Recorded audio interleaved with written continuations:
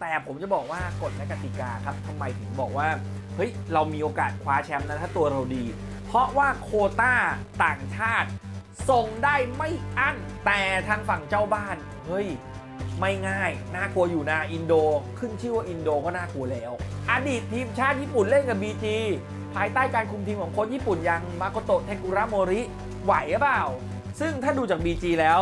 เกมลุกกองกลางไม่น่ากังวล เก็บบอลได้จ่าย killer pass ทำประตูได้ เปี้ยงโป้งจบ BG มีชัย แต่จุดสลบของ BG นั่นก็คือแนวรับ สวัสดีครับ ขอต้อนรับทุกท่านเข้าสู่แตงโมลงปีพงยิ่ง วันนี้อยู่กับผมแตงโมพงพิสุทธิ์ผิวอ่อนนะครับสำหรับวันนี้ครับเรามาติดตามฟุตบอลนะครับ Shopee Cup ครับทีมจากไทยไปแข่งขันในรายการนี้ และชิงเงินรางวัลเนี่ยเยอะพอสมควรนะครับ ต้องบอกเลยว่า รายการนี้เนี่ยเป็นที่หมายมั่นปั้นมือนะครับสโมสรจากไทยจะต้องคว้าแชมป์แต่วันนี้มาเจาะลึกรายละเอียดว่าแต่ละกลุ่มเนี่ยเป็นแบบไหนอย่างไร เรามาดูกันที่กลุ่มของ BG กันก่อนนะครับ เพราะว่า BG เนี่ยจะเตะก่อน แล้วก็บุรีรัมเนี่ยจะค่อยเตะอีกวันหนึ่งนั่นเองนะครับ ซึ่งแน่นอนแหละครับทีมจะมาจากในย่านอาเซียนของเรานะครับ โปรแกรมการแข่งขันดีกว่าทุกคนนะโปรแกรมการแข่งขันเนี่ย เราก็ไปเยือนนะ BG เนี่ยนะครับไปเยือน 2 นัดนะครับก็แล้วก็เล่นในบ้าน 3 นัด เกมแรกเนี่ยเจอ PSM m a g a s a นะครับอันเนี้ยก็โปรแกรมที่ขึ้นมาเนี่ยเล่นก่อนเลยนะครับก็จะเป็นทีมจากอินโดนีเซีย PSM ไม่ง่ายนะ ทีมนี้มีตัวเด็ดอยู่เหมือนกันนะครับ เดี๋ยวเรามาวิเคราะห์เจาะลึกนะครับ แล้วก็เราจะข้ามไปเล่นวันที่ 25 เลยนะครับ วันพุธที่ 25 กันยานะครับ BG ปทุมเจอสวายเรียง สวายเรียงจากกัมพูชานะครับอ่าน่าจะเป็นกัมพูชานะสวายเรียงนะครับและอันนี้เล่นในบ้าน แล้วก็จะเล่นในบ้านอีกนัดหนึ่งพบกับดงเอทันฮวานะครับดงเอทันฮวานะครับก็จากเวียดนามนะฮะวันที่ 8 มกราหลังจากนั้นครับ BG ครับจะเล่น 22 มกรานะครับ เจอกับฉานยูไนเต็ดจากพม่า ไปเยือนเกมนี้แล้วก็ปิดท้ายในบ้านเจอกับตรังกานู FC นะครับจากมาเลเซียนั่นเองนะครับ คือถ้าดูแบบนี้แล้วเนี่ยโปรแกรมเราอะพออัปเดตกันนะครับ แต่ผมจะบอกว่ากฎและกติกาครับทำไมถึงบอกว่าเฮ้ยเรามีโอกาสคว้าแชมป์นะถ้าตัวเราดี เพราะว่าโคต้าต่างชาติ ส่งได้ไม่อั้นโชปี้ครับต่างชาติส่งได้ไม่อั้นอยากจะใช้เท่าไหร่ส่งไปเลยนะครับ อันนี้คือลงทะเบียนนะ หลังจากนั้นครับ โคต้าในการเล่นในสนามเนี่ย5บวก1โอ้โห5บวกเอเชีย1ตายครับผมบอกได้เลยครับว่า 6 ตัว นี่ถ้าทีมไหนมีแบบลูกครึ่งไทยนะอู้ถึงชีวิตเลยนะ เกือบ 10 คนเลยนะ นี่มันเป็นทีมแบบต่างชาติได้เลยนะครับทุกคนนะเตะกันมันล้อๆกับทางด้านของเอ่อ FC Elite นะ ACL Elite เอ่อ AFC Champions League เนี่ย น่าจะส่งได้ถึง 5-6 คนเหมือนกันนะครับ เยอะมากนี่ยังไม่รวมลีกบางลีกเนี่ยอย่างลีกซาอุเนี่ยส่งได้ 8 คนต่างชาติ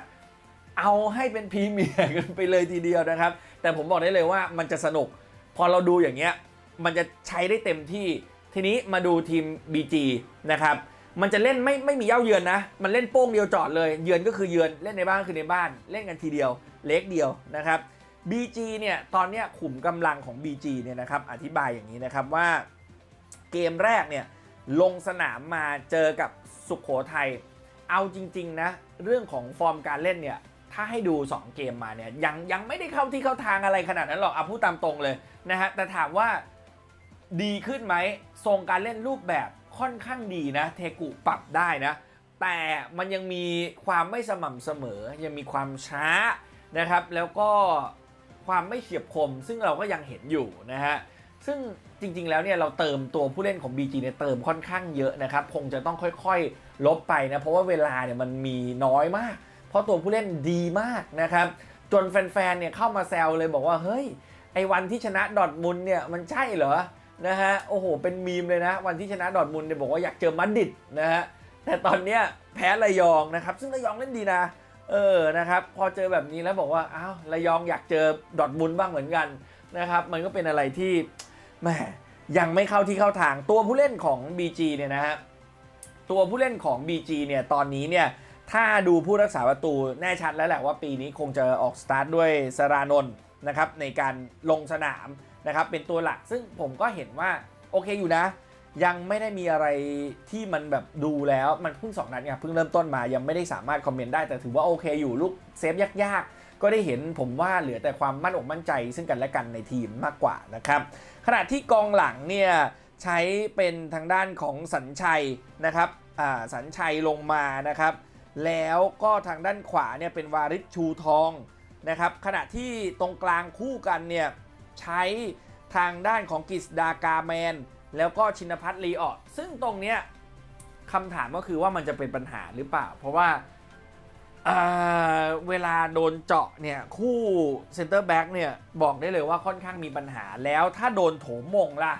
ถ้าโดนลูกกลางอากาศอีกล่ะ ในอาเซียนนี่เขาก็หน้าต่างชาติหมดนะ แล้วในจังหวะที่มันน่าเป็นห่วงเนี่ยแบ็กพอที่จะเข้ามาช่วย support ได้ มากน้อยขนาดไหน ผมว่าแนวรับตอนนี้อย่างเลตติ้งเนี่ยที่ออกมาเนี่ยนะครับในเกมที่ลงสนามไป 2 เกม ทางฝั่งชินภัทร์ลีเอาะกับสัญชัยนนทศิลาเนี่ยไม่ค่อยดีนะบอกได้เลยว่าไม่ค่อยดีในมุมของตัวเลขนะในในมุมของการลงสนาม ผมก็เห็นอยู่ว่าเติมดีเปิดดีช่วยเกมดีนะครับแต่ก็ต้องดูภาพรวมอีกทีหนึ่งทีมงานน่าจะสเกลแล้วแหละแต่ว่ามันมีกองหลังตัวสำรองนะแต่มันยังไม่หายเจ็บ100%หรือเปล่า NDI นะครับที่ยังอยู่ในโควตา shortlist ด้วย นะครับ ส่วนตรงกลางเนี่ยเขาใช้โกมิสแล้วก็โนซึดะนะฮะ ซึ่งเป็นมิดฟิลด์อดีตทีมชาติญี่ปุ่นด้วยนะ อดีตทีมชาติญี่ปุ่นเล่นกับ BG ภายใต้การคุมทีมของโค้ชญี่ปุ่นอย่างมาโกโตะเทกุระโมริไหวหรือเปล่านะฮะขอให้ไหว ขอให้ไหว แต่ผมว่าเขาเล่นดีนะ แต่จบสกอร์เนี่ยไอเกมล่าสุดมาเนี่ยผมมีแผล ถือว่ามีแผลนะครับโกมิสโอเค จ่ายบอลออกบอลดีแต่ว่า การสนับสนุนมันไปทับตำแหน่งกันหมดอะตอนนี้รักพี่เสียดายน้อง BG มีโกมิสชนาธิปสรงกระสินธ์เฟรดดี้อัลวาเรซคือไม่รู้จะเอาใครลงและยังมีอะไรเลเนียลนะฮะ เออ คือยังมีอีกตั้งหลายคนที่จะลงมานะครับ ยังมีศิวกรเตียตระกูลคือเอาตรงๆนะฮะไม่รู้จะจัดใครลงจริง แต่ว่าถ้าขนทางสู่ความหายนะ นั่นคือ คุณไม่เลือกใครสักคนนะครับ หรือว่าคุณจะจัด 3 คนนะเพราะว่าตอนนี้ต่างชาติมันต้องเอาลงให้ 5 ครบ5บวก1นะคุณจะจัดเหมือนอาวาเลสหนึ่งโนซึดะอะบวกไปนะครับโกมิสมาวินลอเรนโซนะครับใครอีกอะคุณต้องไปหามาให้ครบแบบคุณใส่ไปเลยเลเนียลไหมอะห้าแล้วบวกอีกนะครับ เพราะฉะนั้นแล้วเนี่ยมันต้องเติมให้ครบอะอย่างนั้นคุณเสียเปรียบนะครับ มันจะมามัวแต่แบบไม่ใช้ไม่ได้ ขณะที่คนอื่นๆ ที่มันต้องช่วยแสดงแสงยานุภาพแบบต่อเนื่องก็คือเจริญศักดิ์วงษ์กรณ์นะครับชนาธิปสรงกระสินธ์เล่นดีนัดแรกนะนัดที่ 2 เงียบหน่อยนะครับพี่มุ้ยธีรศิลป์แดงดา คือเนี่ยมันก็คือองค์ประกอบของ BG ที่ผมดูแล้ว ค่อนข้างที่จะใช้ได้นะ แต่มันอยู่ที่มันไม่ควรจะอยู่ที่เกมนี้เล่นดีหรือว่าเกมไหนเล่นดี มันควรจะเล่นดีทุกนัดสควอตแบบนี้มันควรจะเล่นดีทุกนัดทำให้ได้ทุกนัดนะครับสำหรับ BG แต่ทางฝั่งเจ้าบ้าน เฮ้ย ไม่ง่าย น่ากลัวอยู่นะอินโด ขึ้นชื่อว่าอินโดก็น่ากลัวแล้วนะครับอินโดเนี่ยผมมาดูนะครับ PSM มากัสซาร์เนี่ยนะครับต้องบอกว่าคนแรกเนี่ยที่น่าสนใจของเขานะครับเป็นผู้เล่นกัปตันทีมยูรานเฟอร์นันเดสนะครับก็เป็นตัวสำคัญเซนเตอร์แบ็กนะครับ เป็นผู้เล่นที่ได้รับคัดเลือกในทีมยอดเยี่ยมด้วยนะ ในลีกของเขานะฮะลีกอินโด และยังเป็นทีมเดียวนะฮะ ที่เขาลงเล่นเนี่ย 2,877 นาที มากที่สุดของผู้เล่น PSM นะในฤดูกาลที่ผ่านมานะครับ มาจากเคปเวิร์ดอายุ 29 ปีนะครับ ถือว่าน่าสนใจเพราะว่าอายุอานามก็ใช้ได้อยู่นะ 29 เองกำลัง peak อยู่นะฮะ peak ช่วงปลายเปล่าไม่รู้นะครับ แต่คนนี้แหละน่าสนใจน่าสนใจนะครับเป็นกัปตันทีม แล้วก็ยังมีตัวต่างชาติบราซิล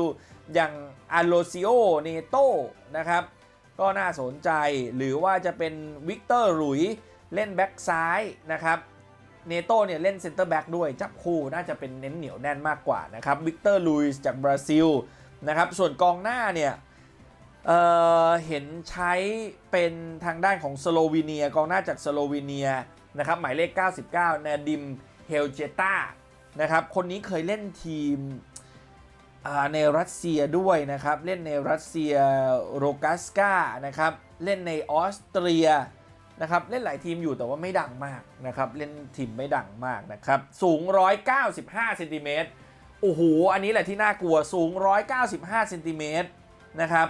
เพราะว่าอาจจะใช้มาโจมตีกองหลัง BG ได้ไงนะฮะ ซึ่งตัวเล็กอยู่แล้วนะครับ เขาเล่นระบบ 3-5-2 พร้อมกับวิงแบ็กลงมาสนับสนุนเกมรับได้นะครับตัวต่างชาติมีไม่เยอะ2อสคนเท่านั้นเองนะครับเออตัวตัวทีมชาติผู้ผิดตัวทีมชาติ ส่วนเขามีไดซึเกะซากายนะครับเคยเล่นอยู่เมืองไทยนะ เคยเล่นอยู่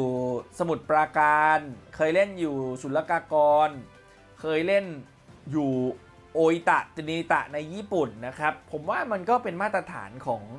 ทีมประมาณนี้นะฮะ ซึ่งถ้าดูจาก BG แล้ว เกมลุกกองกลางไม่น่ากังวล เก็บบอลได้จ่ายคิลเลอร์พาสทำประตูได้ เปี้ยงโป้งจบ BG มีชัย แต่จุดสลบของ BG นั่นก็คือแนวรับ ผมบอกเลยครับ แนวรับของ BG มีปัญหา ถ้าแก้ได้แก้ให้ไวที่สุดแล้วพยายามปิดให้ได้นะครับ เพราะฉะนั้นแล้วเนี่ย BG จะมีปัญหาก็ประมาณนี้นั่นเองนะครับ แต่ผมเชื่อเหลยนะครับว่าไปเยือนอย่างน้อยๆ BG น่าจะมีสักแต้มหนึ่งออกมา ไม่น่าจะถึงขั้นแพ้ ให้กับทีมจาก อินโด PSM นั่นเองนะครับ อันนี้คือทั้งหมดทั้งมวล ถ้าหากว่าชื่นชอบอย่าลืมติดตามกันได้นะครับ โดยการกด subscribe กดกระดิ่งแจ้งเตือนจะได้ไม่พลาดทุกๆความเคลื่อนไหว วันนี้ลาไปก่อน สวัสดีครับ แตงโมขายบ้านทาวน์พลัสเกษตรนวมินทร์3ชั้น 3 ห้องนอน 3 ห้องน้ำ 2 ที่จอดรถ แอร์ และ built-in เฟอร์นิเจอร์ฟรีทั้งหลังแถมฟรีโซลาร์เซลล์ประหยัดไฟ 40-50%ต่อเดือนสนใจติดต่อ at tm score โทร 0959455635 ครับ